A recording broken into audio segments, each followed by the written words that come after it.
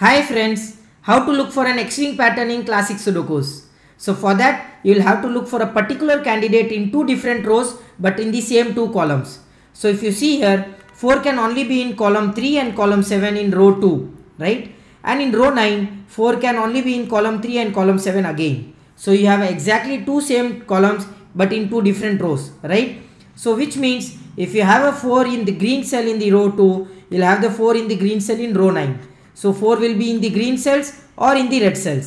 So if you have a 4 here, you'll have a 4 here. And if you have a 4 here, you'll have a 4 here.